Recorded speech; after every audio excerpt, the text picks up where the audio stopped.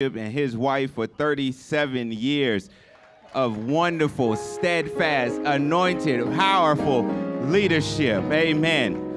You can learn how to walk closer to God just by following their example. Amen. So we're thankful for that. But Ecclesiastes chapter 1, I'm starting verse 12.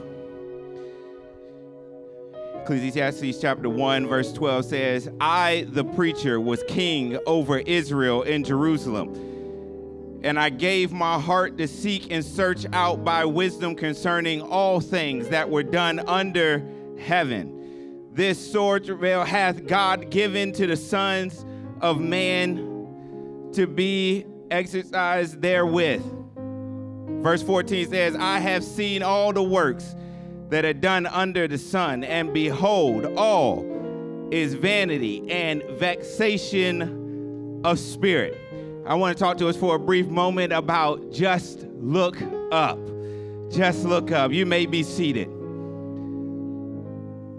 The writer here, known as the preacher or the son of David or Solomon, was searching out around him and he was finding out that things around him were not matching up to what he felt like they should be.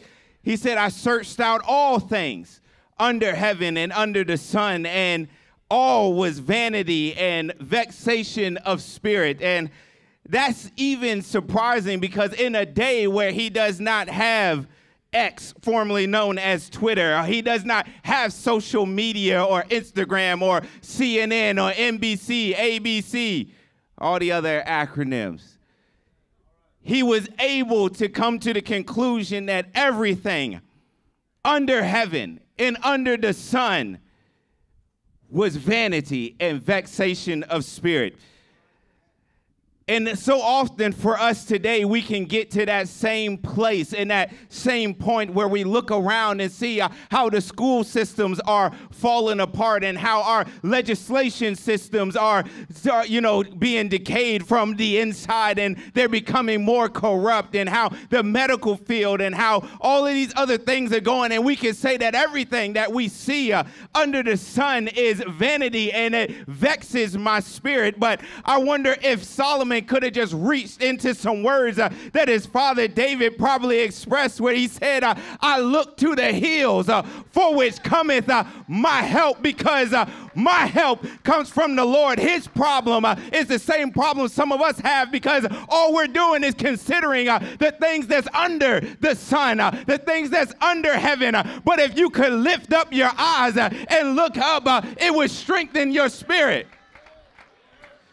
I, I, feel like you need another example, but Isaiah was in chapter 5. He was noticing all of the sins uh, of the people around him. I call it the woe chapter because he said, Woe unto them uh, that put bitter for sweet uh, and sweet for bitter. Woe unto them uh, that put evil for good uh, and good for evil. He was noticing all the problems that were around. Uh, but when he got into chapter 6, he said, I saw the Lord being lifted up, seated on the throne, and his train rain uh, filled the temple. And once he got that, uh, when you get down to the middle of verse of chapter six, uh, he says, God says, Who will go for us?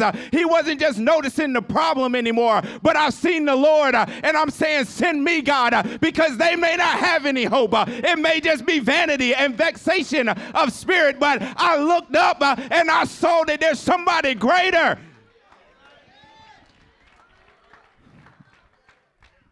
I know y'all don't like that either. Because you're like, that's Old Testament.